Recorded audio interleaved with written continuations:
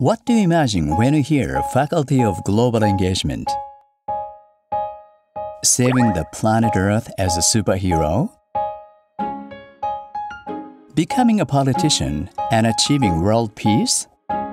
Such big dreams are, of course, wonderful.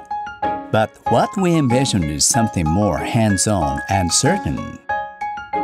We do not always notice it, but just by looking around, we might find something that may change our future or the world.